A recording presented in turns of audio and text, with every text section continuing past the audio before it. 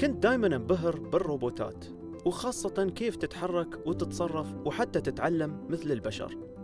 بس الحين حركة الروبوتات صارت أكثر مرونة مع تواجد الروبوتات اللينة. شدني هذا النوع من الروبوت فقررت أني أتعلم وأبحث أكثر عنه.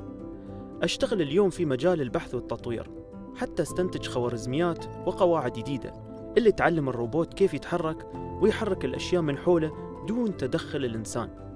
فيتعلم الحركة مثل الطفل اللي يستكشف العالم من خلال التجربة.